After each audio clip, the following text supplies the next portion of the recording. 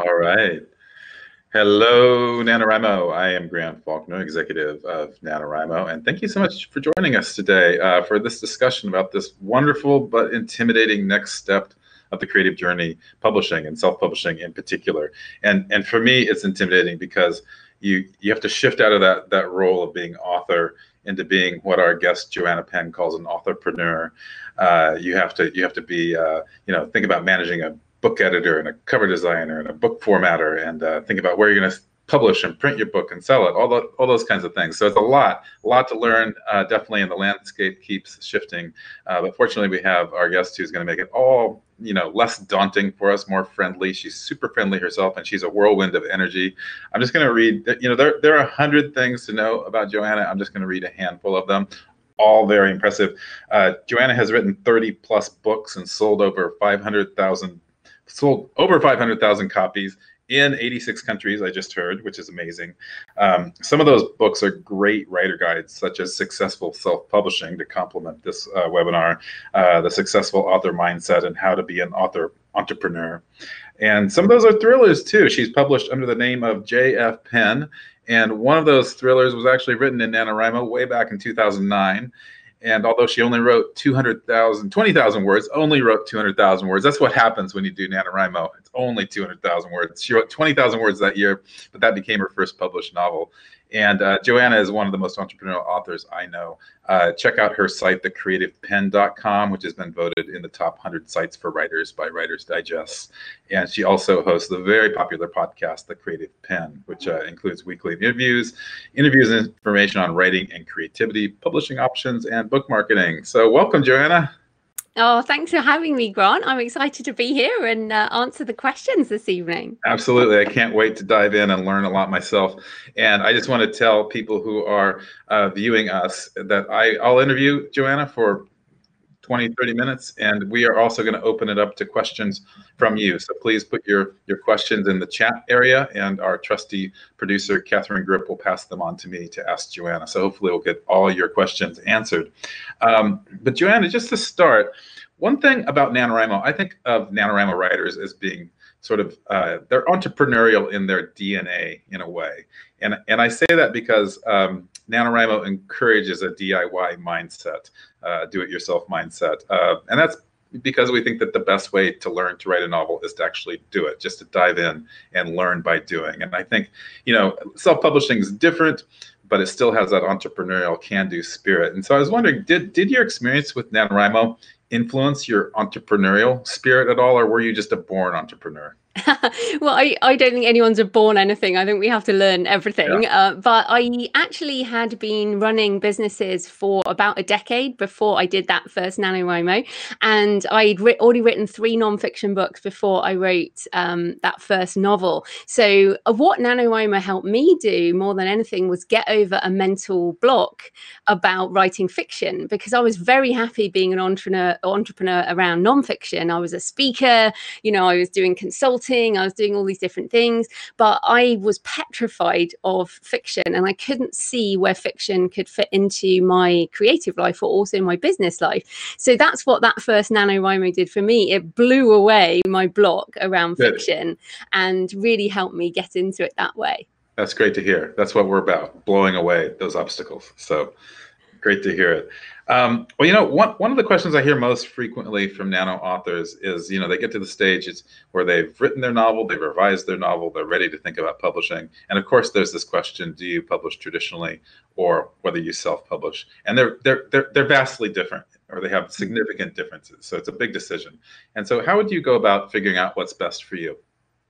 Right. Well, the the question and what I would say is stop and think. this, this, and this is very hard because I know everyone's like, "Ooh, ooh, quick! I need the next step. Yeah. But you need to stop and think about what you want to achieve. And that is a really big question. And that will also change over your author journey.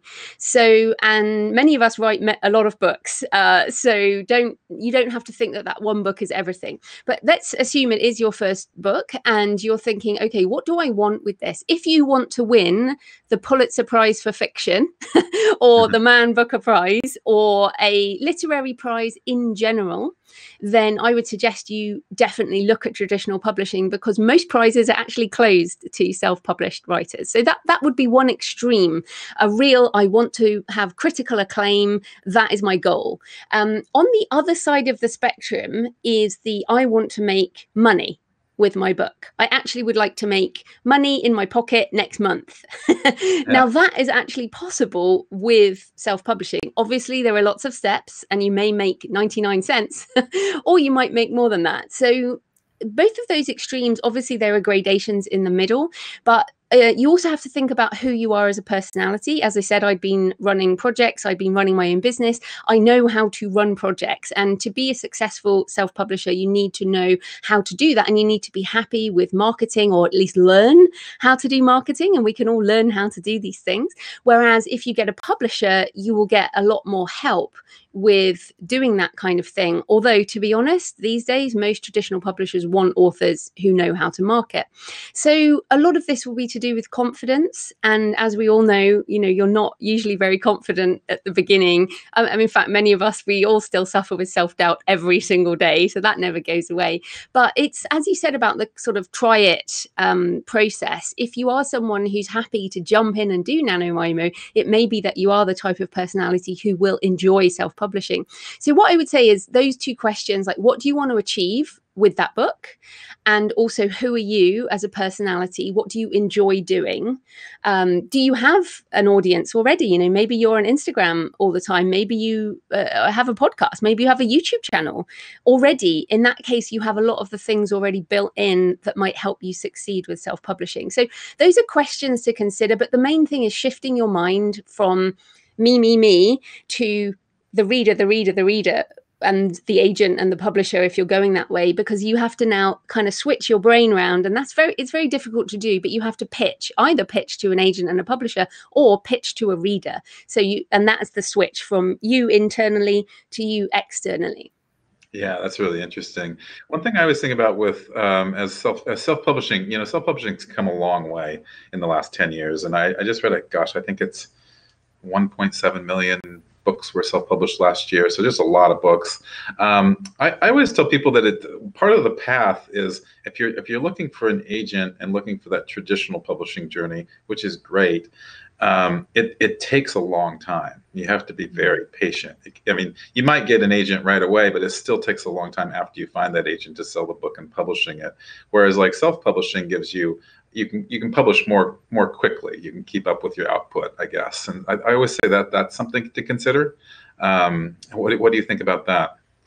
Yeah, speed is definitely a thing. And um, I mean, obviously, NaNoWriMo is um, fiction, but there's, um, you know, if, if, you're writing nonfiction, I often think it's it's people who write nonfiction want to get their books out faster because a lot of the work is time specific, whereas novels and stories can be you know have more longevity around the material so timing is definitely one thing although i you know we'll talk about some of the prerequisites but you know it does take time to edit and you know uh, don't just upload as we always say don't upload your book mm-hmm. straight after nano yeah. do some editing but um yeah timing is is definitely one thing but the the biggest thing cited by people is control. So many, um, and this is an important point, many professional authors now are choosing to self publish, to go indie, as well as work with traditional publishing because they have more control over their creative output. And so they might do one series under one name with a publisher and another series under another name as an indie, or, you know, do a different series under the same name or come in later and do a different book. So it's all, it's, we're in a mix and match environment, really. So after that first book and you're starting to write more, if you want to do this, this for um, your career, for a living, or just because you want to write a lot of books, then yeah, t- time is one, control is another, speed. Um, and as I said, also money, because um, if you are successful self publishing, the type of numbers you have to sell as an independent are a lot lower than what a traditional publisher will expect a book to sell in order to be a success. And that yeah. definition of success is super different uh, for everyone and in every genre and in every country. But um, everyone has a number in their mind. Yeah, good. You have to set your own number in a way, uh, but your publisher will set, set one for you, definitely. Uh, I hear this question a lot. Um, people worry that if they take the self-publishing route, that that automatically kind of closes the door on traditional publishing. Is that the case? Would you say? Uh, definitely not for a career but what I would say is there was a time about seven, eight years ago when if a book did well as an indie book, uh, publishers picked it up. I mean, the, the most famous example, of course, is Fifty Shades of Grey, oh. uh, which did go on and become this huge success. There are still books that this happened to. Um, uh, yeah, there are lots of books this still happens to, but mainly what I see is a shift in that if um, an author breaks out as an indie, often what will happen is a publisher will want something new from them. So there is a kind of cult of the new, uh, although there are also now deals with authors for their entire backlist. I'm also seeing this with um, publishing deals going, okay, you're successful, you've got this series, we'll just buy everything.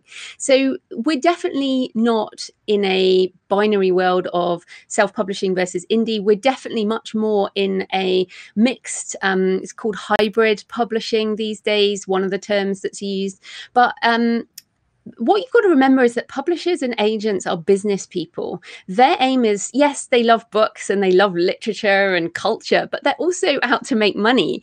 And so, if a book is doing well, if an author is savvy and knows what they're doing, then the publisher is going to approach them. So, for example, um, I've sold books in uh, you know foreign rights deals. I do my own in English, but um, in foreign rights, you know, happy to license.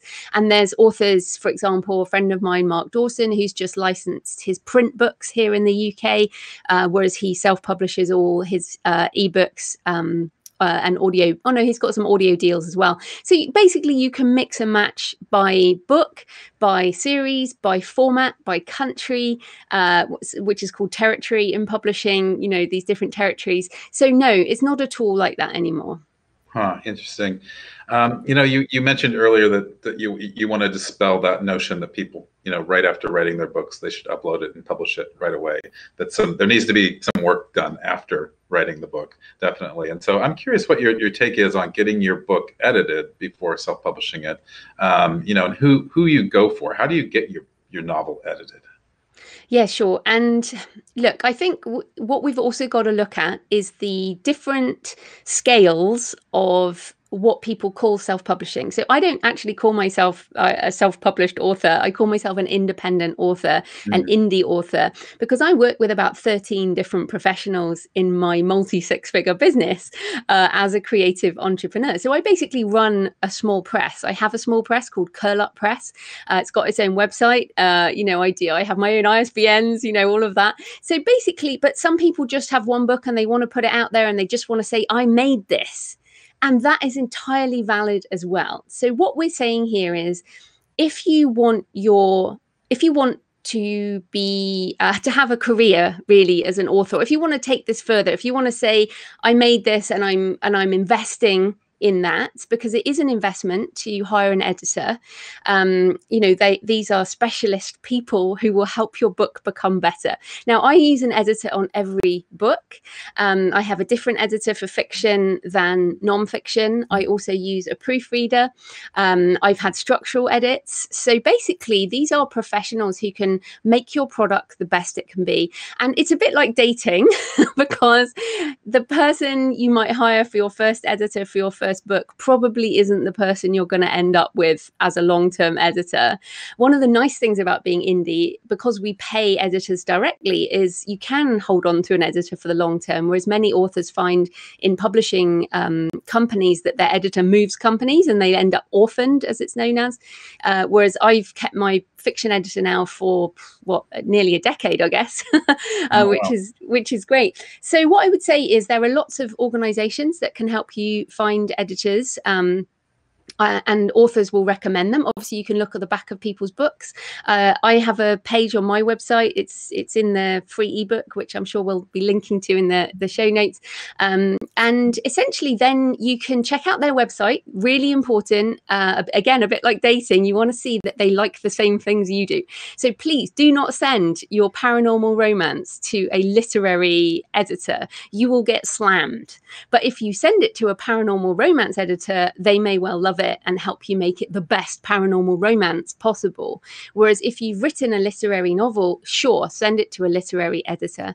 Now, um, the cost for that is going to depend on how long your book is, but also the skill of a writer. So um, at, at the very beginning, I mean, we all have to admit this, you know, you get better per book. So your first book, unfortunately, is going to need the most work, which um, you know it, it means you have to invest a bit more at the beginning. But what else are you going to do? I mean, you start doing this as a hobby, and eventually it might be professional if you want it to be.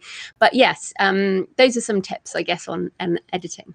Yeah, you know, I'm curious, um, and thanks for making that distinction. That that you know, while we're talking a lot about the professional indie author here, uh, I also want to respect people who who want to self-publish on on a on, I guess a smaller, more intimate, and more casual basis, which is which is great. I've I've actually done that myself, just to get copies of my novel and give them to friends and family, and it's very gratifying.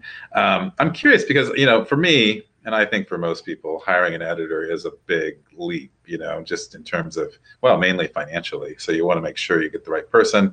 You also want to make sure you get the right person at the right time. And uh, I guess I guess one of my questions is, is when do you know your book is ready for that next step? You know, like I, I have a novel now that I think I've reached the end meaning final revision, at least three times. and, and I've gone back to it and revised it again. So I think as a writer, we can easily lose perspective or not know when the timing is right. Yes, and this is one of the problems with being an independent because you don't have a deadline. So if you have signed a traditional publishing contract, you have a time when that book is due. But if you are an independent, you have to be someone who is project centered. So I have 30 plus books because I am very good at projects mm-hmm. and I'm good at starting and I'm good at finishing. The middle bit's difficult, like it, the middle is difficult, but I know how to finish. And this is the issue. Your question is a great question. And I know authors who have like 30 plus books and none of them are published because they cannot get over that and that finishing energy moment. But basically, how I uh, what I do is I do set a deadline. So with that first novel, I did NaNoWriMo in that November t- 2009, and I realized I didn't know enough about writing a novel. So I then did Year of the Novel. I was living in Australia at the time. I spent 2010 writing and kind of editing that book with the aim of publishing on my birthday in March 2011. So I set a goal from the day one and I work towards that goal. Now I know some people type B people I'm type A so I'm like goal goal orientated but I think you have to you have to set your own deadline you have to pretend you have a contract. So I was like I want it by my birthday um, which is mid-March we're coming up to my birthday soon um, but I actually I was a month late with that first book but hey I was a month late and I still made it. And then I've gone on to write way more books um, since then. And if I hadn't have set that goal, and I set a goal for every book, um, so I know, okay, I have, and then I work backwards. I'm like, okay, I have to finish the first draft by this date and then I do my own um, first edit. Then, if I feel my first full edit is good enough, which often for nonfiction, particularly, I'm pretty slick on nonfiction, I will send that off. But with my novel, I'll be like, okay, rest it a bit, then do another self edit. After my second self edit, I will normally send it to my editor. Or in some cases, I've sent it to her quite early when I'm like, this isn't working and I don't know how to fix it that's another time where you might want an editor or a structural edit. Um, and then after I do my um, my updates and things, my restructural, whatever, my line edits, I'll send it to the proofreader before I publish. So that would be my tip is you really do need to try and set a contract with yourself and set your timelines or, you know, 10 years will pass, which is it passes yeah. very quickly and you still haven't got it out there. So Grant, you're going to set a date for this book. well, I, I, have I have set dates that I've hit. It, it's all been that um, I've reached a point after what I considered the final revision where I realized that something uh, relatively significant wasn't working. You know, so this might mm. be. Hmm. I've been trying to get it traditionally published too. So so I've sent it out and and faced rejection with it, and then kind of gotten a new idea and done a lot of work with it. So, um, and you know, I mean, my thing is, is that maybe I, I, mean, I haven't hired an editor to look at it, so maybe I should have done that a draft or two ago, and it would have made it all the easier. You know, there are a lot of considerations with that. Um, so, but, but I like the con. I mean, definitely the contract approach. I mean, we believe in goals and deadlines. That's at the heart of everything we do. Um, but, but I think it's it's good to remember that it's not just about drafting when the goal and deadline work for you. It's it's at all stages really. Um, otherwise, like you say, you can just fritter away time. And yeah. Yeah. yeah, definitely, definitely. And it, I mean, the other thing is, don't know. There's a quote I can't remember who said it. You know, books are never finished; they're just abandoned, or poems, or whatever it is about. Yeah. But you know, I and the thing is, like Stone of Fire, uh, the the book I started that first NaNoWriMo, I did a re-edit on that in 2014, um, and it had been out five years. Uh, and in 2014, the box set hit the New York Times and the USA Today bestseller list. Um, now we never think our books are, are good enough. Uh, and I go back now and I'm like, oh, I re- I'd really like to redo that. And I'm like, seriously, you can't go back and redo every single book because what is the point? And then if you look at your reviews as well, as an ind- you know, particularly as an independent, you're like, okay, I think that's good enough to go. And then you see reviews and you're like, okay, I guess it's still good enough, um, then then that's a good um, measure. Obviously, you don't get that till you put it out there. But the, the other thing to come back to why I wrote the book on mindset is because it never feels good enough, and that's why we write another book.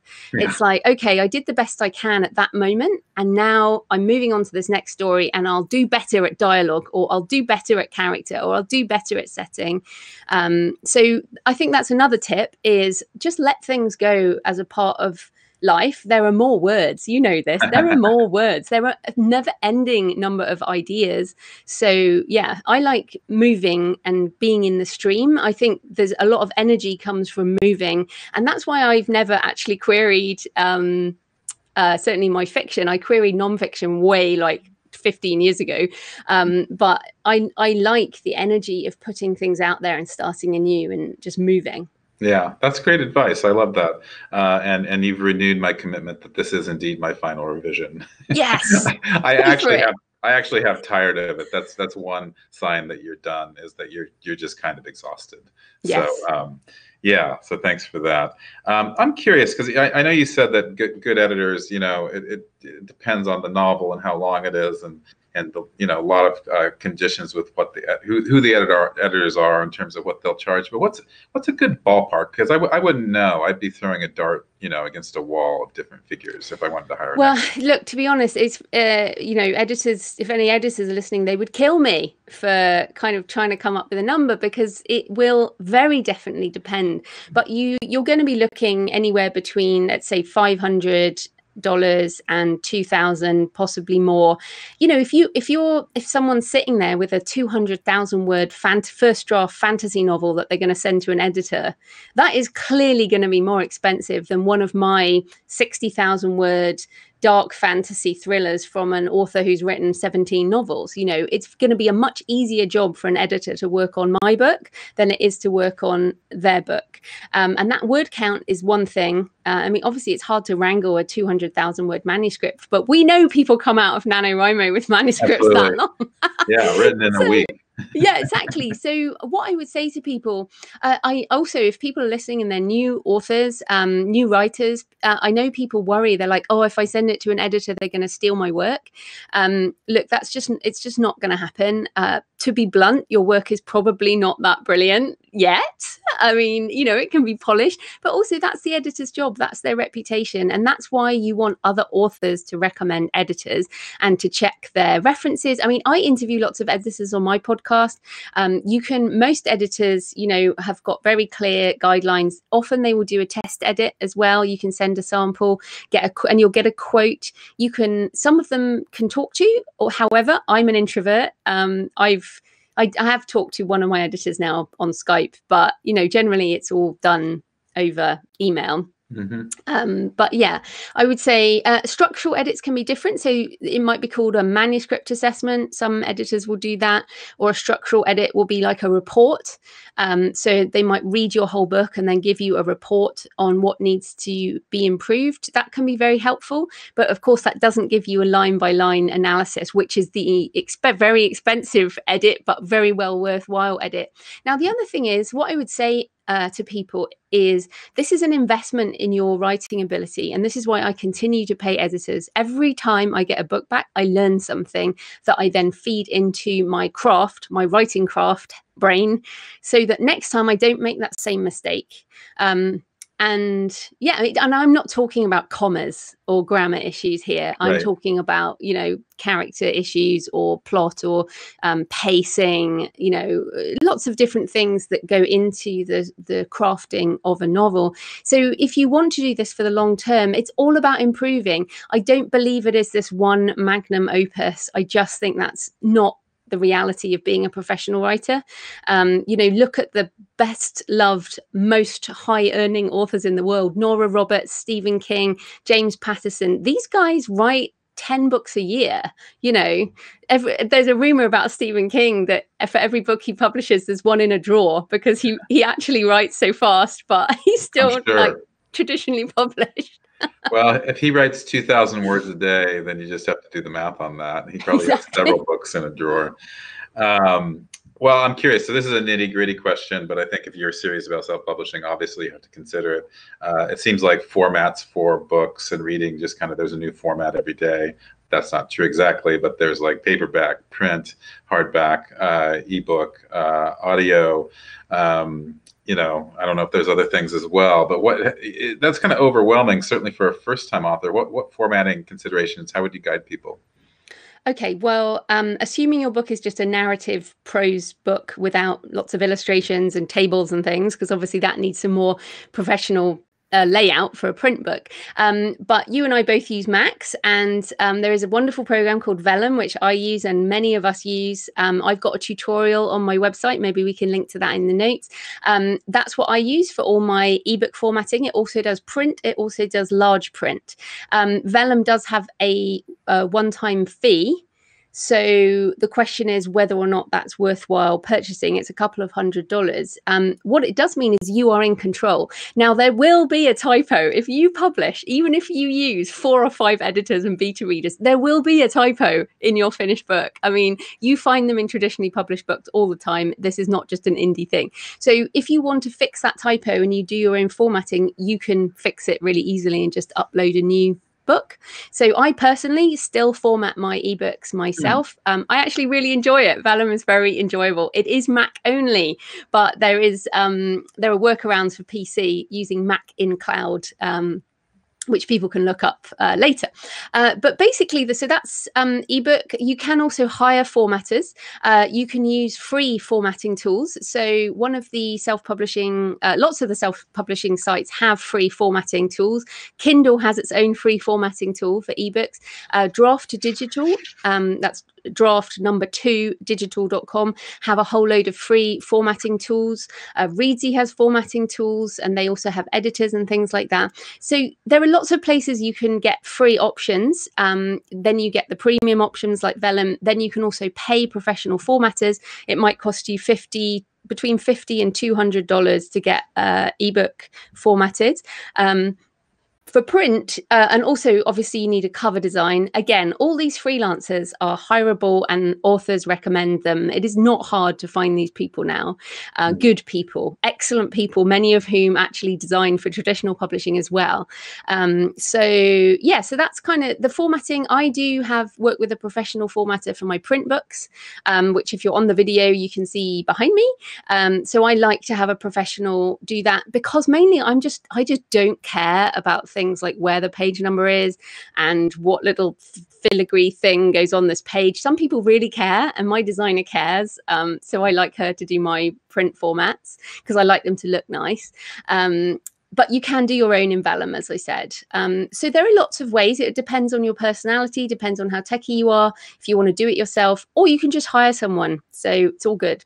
Yeah, that's great. And thanks for mentioning that you have those free resources on your site.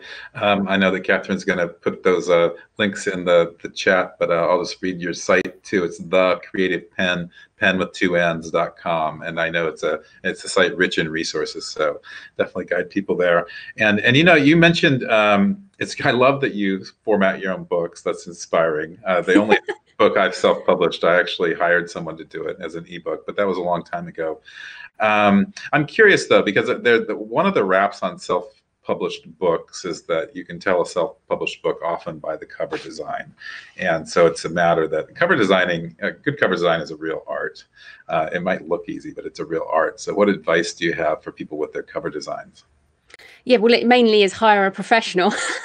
and um, as I said, a lot of the um, a few. I mean, I'm sure you remember there was a big sort of culling and uh, in the traditional publishing world, and they laid off a lot of their full time designers, full time editors. So, which is why we can now hire them. Um, and uh, yeah, so you can just hire a professional cover designer, and that is the best way. Again, it's going to cost you a few hundred dollars um, to get someone, and the best um, you can buy off the shelf covers actually now um, some of the designers will kind of design a whole load of them uh, within certain genres um, and it can actually be a really good way to get ideas for titles and, and stuff like that and, and ideas for books. Uh, so yeah pre-made covers would be one. Um, ebook only covers you can also get on canva c-a-n-v-a.com for free ebook only and they've got some pretty nice covers on canva. Um, but as i said if you are ready to invest and get a really nice professional cover cover, um, then you will need to spend a bit of money. The other thing with all these professionals is that you do need to book them in advance. So don't just go, oh, I'm going to publish tomorrow. So I guess I'll send it to my editor today and ask this cover designer. Uh, no, you're going to need some lead time on this. Um, the other thing is, one of the wonderful things about being indie is you can change your covers, you can redo the book, you can unpublish the book, you can re edit the book and upload it later. You have the freedom to do all that. You are in control. So, my first three books, um, the first my NaNoWriMo book that year was called Pentecost, and I wrote Prophecy and Exodus were the first three books in my um, ARKANE series. And then in 2015, so like three years later after I'd finished them, I um, re edited, recovered, republished with new titles. So now they're Stone of Fire, Crypt of Bone, Ark of Blood, which are much more thrillery um, mm-hmm. action adventure Dan Brownie type uh, titles, which is what the books are. So because I, when we start out, we don't know the publishing industry. You know, we're writing a novel because that's what we want to do. But if you're going to be a successful independent publisher, you also need to learn how to publish and yeah. how to market. And that book packaging is so important. But why I say this is because it's very hard to do yourself. It is very hard. Um, but don't worry, if you get it wrong, you can just sort it out later. So no worries. Yeah, that's inspiring that you can uh, change things. Um, and, and definitely that you uh, don't have to know everything yourself. You just have to know who to go to and how to find them and then how to work with them, right? Yes, and I, I, mean, I pretty much have everything on my website for free these days, so you can go go yeah. find it all out. Because you know what, I, one of my goals when I first started doing this was to help a million books be born in the world. So you know, I'm just really keen for people to get their work out there, and you know, the, the this putting your book in the world will change your life. It may not sell millions. My first book did not. it really did not do that. But it changed my life and set me on a new course and a new direction. And that's what I think writing a book does. It may not change the world, but it will certainly change you. Yeah, that's great to hear. That's what we want to do with NaNoWriMo as well. Absolutely. So we share, we share missions.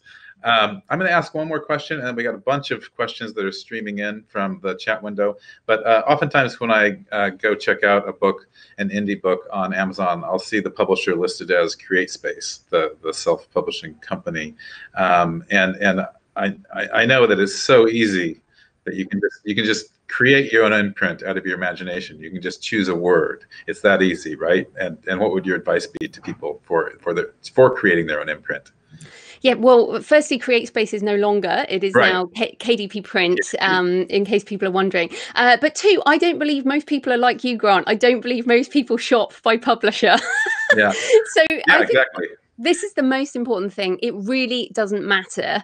Um, and I know traditionally published authors who've self-published and they haven't put anything in that field, and it will just say Amazon Publishing, or it will say, you know, not Amazon Publishing is a publishing company. It will right. say whatever KDP print. Um, but it, so I don't think readers care. If your book uh, looks professional and it's good and it's great for the reader, then they don't care. Mm. The reason to consider an imprint, I believe, is if you want bookstores, libraries, literary festivals, uh, foreign rights publishers, if you want to take things to the next level, having an imprint gives you a publisher and r- rights holder. I mean, we don't really have the time to go into intellectual property rights, which is the heart of the business honest. Um, but what we do with licensing is we license those rights. So I set up Curl Up Press in 2015. So um, way, you know, seven years after I self-published my first book, um, because I decided I wanted to do that um, publishing more professional publishing arm, where I now reach out to bookstores, libraries, universities, etc. And some of my books are stocked in all those places. Um, but you, that's certainly a more advanced tactic and not something you need to worry about. You also don't need to start a business to self-publish a book. Um, you know, you you don't have to use your real name if you self-publish. There's all these different fields. You you can keep your legal name separate to your author name, so you can do pseudonyms, that kind of thing.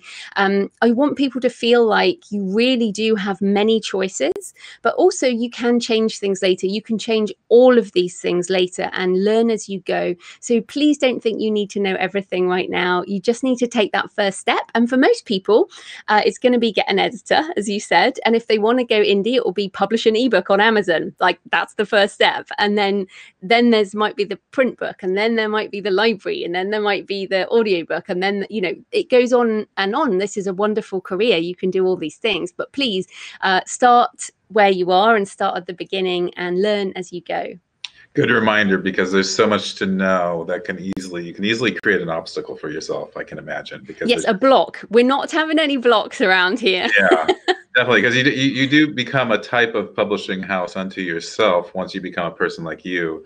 Uh, but to get there like that was 11 years ago that you first or published your or longer i guess when you first published your first book. So it's a long time to learn about things. Yes, exactly. I started writing properly in 2006 put my first book out 2008 before the kindle if you can yeah. believe it. So um, yeah and i ha- i've got so many things wrong. Most of my books ended up in a landfill.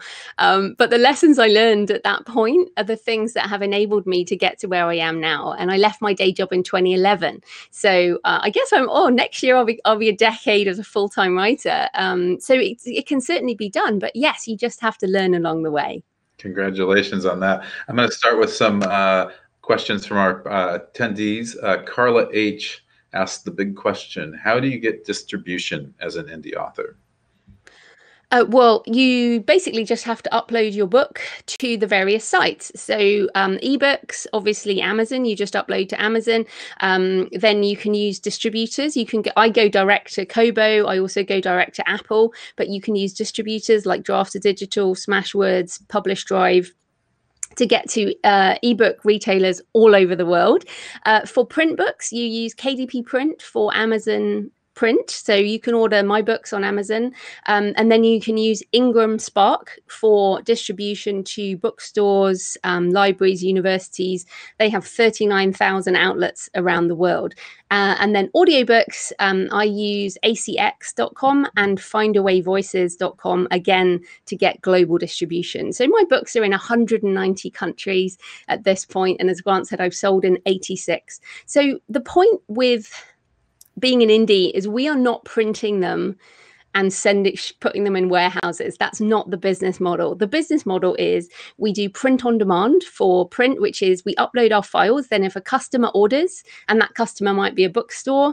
I had some orders in michigan the other day um, or it might be someone on amazon and then the books are printed and shipped directly to that customer it is the most uh, environmentally friendly way of publishing. It also means you don't have to pay anything up front, you just get money later. So it's a very good business model, but you have to think about distribution entirely differently than you would as a traditional publisher. Yeah, wow, a lot to learn. Uh, Sarah Lyle asks, uh, any advice for publishing a set of novels written by students? So I think this would be on a smaller scale uh, not for a blockbuster bestseller novel, but something that students could have and maybe get for their family. Yes. So I don't know how old these students are, um, but I, I mentioned. Yeah, I mentioned intellectual property rights before. Um, there is a reason that there are contracts with, for a publishing contract. If you're publishing other people's work under your own name, then I would suggest you at least have something in writing because what's going to happen if you do it for for profit? This is the other question: Is it for profit? Are you just doing it for cost? Are you just going to, for example, if you just wanted to for, to load up some students' books and get them printed, you could just use a local printer for that. You don't need to sell books on Amazon. But if you want to sell those books on Amazon and there will be money received, then you need some, I would say you need some kind of contract even like a basic email that is is an agreement especially in america people. Um, um, but don't let that stop you but i just want you to consider what being a publisher and putting that through your own account might mean. Um, but if you're, I have helped um, school children, uh, my niece um, particularly, do a book on Blurb. So um, blurb.com. They actually have a whole area for children's publishing and charity publishing. So they may have options there for um, that kind of situation. But yeah, I would just, um, what you don't want, for example, is for the book to become a runaway success and for you to get a million dollars in your bank account and then get sued by some parent in the school. Could so happen just, these days. yeah, yeah, it can happen. Absolutely. One of so, those yeah, just, might be a YouTube celebrity. exactly. So just be um, be aware of what you're doing when you publish. This is true for anything. You once you upload your book, anyone in the world can buy it and it might be like you say a runaway success or no one will find it at all. Uh, thank you for mentioning blurb and i say that because we actually have a partnership with blurb uh, where they give a discount uh, for exactly this teachers helping students publish their books. And uh, you can find more about that discount on our young writers program site. Uh, so just google young writers program nanowrimo and you'll find it on the site. So um, this next question um, people are interested in marketing issues, which we haven't talked about. But Pooja Goosh, Gosh says, if you're self-publishing, how early do you need to start marketing your book? Um, after writing it or midway through it? Any guidance? Uh, well, again, this really depends on what kind of book it is, on what your plans are, what your goals are. Um, for example, if you are writing a nonfiction book and you intend and you have a podcast, talk about it as soon as you have an idea. Um, or if it nonfiction is much much easier to market because it's very clear. Like if I'm writing um, a book on career change, my first book was on career change. I started a blog on career change uh, while I was writing the book. So when the book came out, there were some people who could buy the book. But if you're writing a novel, especially your first novel novel. Uh, in fact, I reckon until book five, I didn't know what I was doing. And in fact, at book five, I changed my author name. So again, you can change all these things. Um, I changed genres, I changed covers, I changed everything. So for me, with fiction, I don't think you necessarily know what that book is going to be until it's ready. So I normally say to writers writing their first novel, don't do anything until you've finished a first draft. If you haven't finished a first draft, just forget publishing and marketing. Literally, forget about it because most writers will never finish a first draft. I mean, this seriously, this is the truth, people. Like finishing a first draft means someone could sit down and read it end to end and it's a, a book it, you know it might need some work but it's you know end to end. Most people never get to that point. So why would you bother marketing um, anything? And there is an obsession with marketing but look to be honest you like i said i hit the new york times and usa today five years after that first book was published with that book because it's much easier to do marketing once your book has reviews on it. So what i would say is it will the question can't really be answered specifically because everyone is in a different position but but um, if you're just starting to write, don't worry about it now. Um, but if you have, if you're working through your final um, drafts with an editor, then yeah, I would be looking at starting to figure out your marketing, but also understand that marketing one book is incredibly difficult. And most of us write in series because it's much easier to market a series. Um, and yeah, it all compounds. So again, you can learn this over time. Yeah, great answer. Uh, this one comes from Penny Kenya Cat. And um, the question is, you know, NaNoWriMo is great as a community to connect writers. Do you have any communities within the self-publishing or indie author community to recommend? And how can people, you know, find other indie publishers to learn from? Yeah, sure. Well, obviously, there are tons of Facebook groups. Uh, I'm personally in the Alliance of Independent Authors, which is a professional membership, um, has an amateur membership if you haven't published yet. But the Alliance of Independent Authors, um, we have a Facebook group where you can ask questions, and there are lots of indies in there from all over the world. Um, so that's a really good one. There are also, um, I'll recommend 20 books to 50K. Now, that is very much for um, genre fiction and is highly focused on money and Amazon. um, so I'm less involved with that because I publish wide. I like money, but I don't. Um, I don't write fast. Those some people in there are writing, you know, a book a month or or more. So that that's a quite a high high volume uh, self-publishing wing. And that is one of the business models but there are many business models of indie. Uh, so yeah um, i also uh, spf self-publishing formula which is um, as a podcast a self-publishing show. Um, they have a forum there's lots of sites now that have um, groups and courses and things. I mean, we really are in this sort of heyday of of indie. But yeah, for me, it's the Alliance of Independent Authors. Yeah, that's a great one. Um, this next question is is, is interesting because we haven't talked about these platforms. Uh, the question is, what do you feel about online serial publishers like Dreame, FicFun, Wattpad, Paid Stories, and Radish, who pay per read? Do you consider this real publishing as it's put in this question. Real publishing. Well as yeah. soon as you put your words in the world you are real publishing. I mean we are like on tv right now. Yeah. um, we are real publishing. Uh, so yes as soon as you put your words out into the world where someone else can read them you are real publishing. You're not you're not you don't have a book. So some people use the word author when it comes to an actual finished book um, but you're certainly publishing. Um, now i know Wattpad and I have books on Wattpad. Uh, it's an extremely good community, but it's a community, a bit like YouTube, where where this is going out. It is a social site, and you get a lot of feedback. And the people who do best on Wattpad uh, are in the community. They're chatting, they're networking, they're writing with other writers, and um, I I feel it skews younger, so a sort of YA, although they have tens of millions of people on there and it's a, a, wonderful platform they also have a publishing arm and they have a they work with hollywood studios now so wattpad certainly i know uh, is fantastic um, i uh, and you can publish your book separately. Wattpad is not a publishing platform, as in it doesn't compete with Amazon. You're not selling your books on Amazon. Whereas something like Radish, I believe I haven't used it myself, but as you said, if you're paid per read per, per page, that's more like a subscription, which is what sites like Scribd, um, uh, KDP Unlimited, uh, Kindle Unlimited. Uh, there's lots of these subscription programs. But yeah, anytime you are publishing your writing on a platform, you're going to click a button with terms and services on. Now, I mentioned contracts before, and you need to read that contract if you click it online just as much as if you were signing it a piece of paper because those terms and conditions will tell you what you are agreeing to so i can't personally recommend that you use any of those sites because I haven't seen those terms and conditions recently. um, but what I would do is just check, you know, what are they actually asking for? If you publish your work on this site, do they own it? Uh, can they put it in a book and sell it without your permission? Some of these sites, you know, are not necessarily in your best interest. So please just check the terms and conditions. I can vouch for Wattpad. I'm going to vouch for them, um, but I'm not sure about the others because I haven't used them.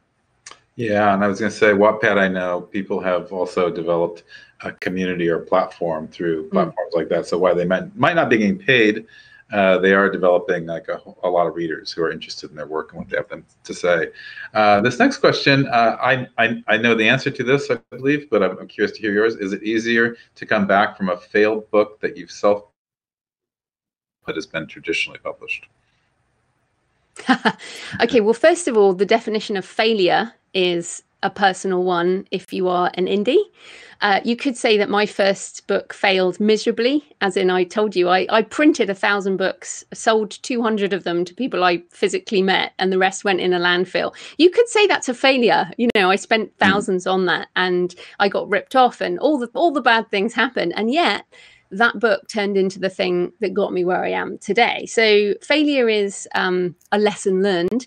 What I will say about traditional publishing is that this is where the number of books sold can be very important. So um, there are people who get, you know, a big advance, they don't earn out and they kind of have a death spiral where their next book doesn't get bought or their advance is lower and then you know it becomes difficult. And then what sometimes happens is those authors relaunch under another name. I know a lot of professional authors who are on like their third pen name because the other one's death spiraled. Um, so they've tried again with another name. This is very common in traditional publishing. They're like this is a debut author in fact um, girl on the train was you know billed as a debut but she had written three books under another name before that. Um, just in a different genre. So the failure failure is can be rectified by changing your name and doing it again. Um, not a problem. What you have to think is, do I love this enough? And what can I learn from this so I don't end up in that situation next time? Is that what you were going to say, Grant?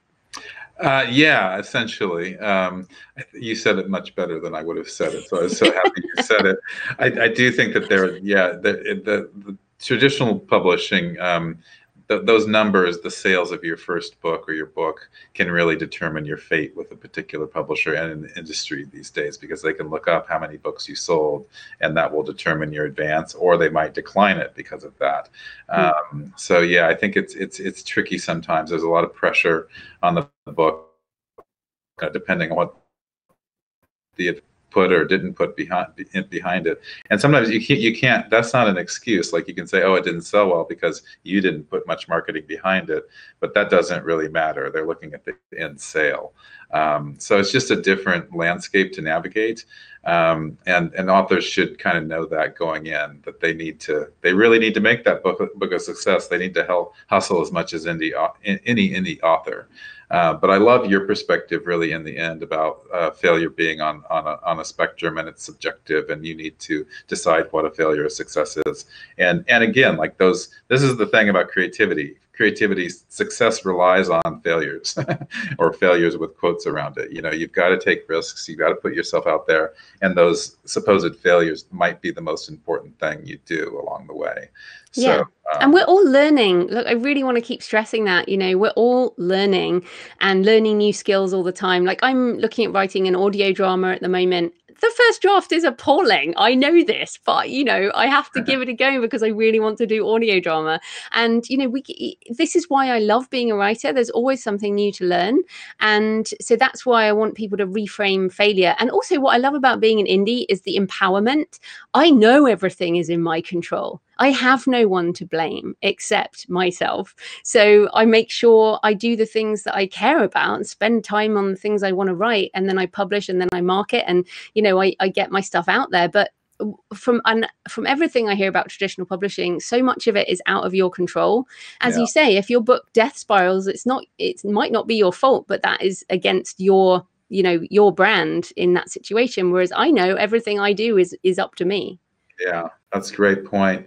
Uh, since you mentioned audiobooks, uh, Bat Advocate asks, how expensive is it to publish an audiobook? And we were talking about this before we came on, just how audiobooks are, are, are becoming so popular and emerging. You know, every year the sales go up uh, tremendously. So, but we were also saying that, you know, uh, an audiobook isn't necessarily the first thing an author needs to learn about as well. So, yeah. Yeah. Um, what what I would say is that the audiobook, um, you can do royalty split deals with narrators, but what I would say is most narrators now will only do that if they are new narrators. Um, so, like, you'll be new together and you'll split the royalties, but it might not end up making money for anyone.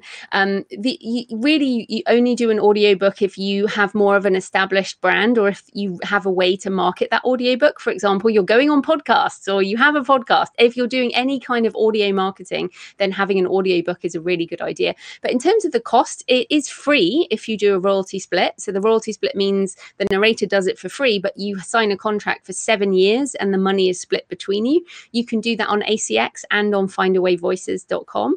Um, then if you pay outright, it can be anything between 100 to say 500 US dollars per finished hour. And it's around 9,000 words per hour So, what's great about nonfiction, for example, a short nonfiction book might be only three or four hours, so it won't cost you too much money. And yet, I find personally nonfiction sells really well, um, because mainly because I have a podcast that markets markets it.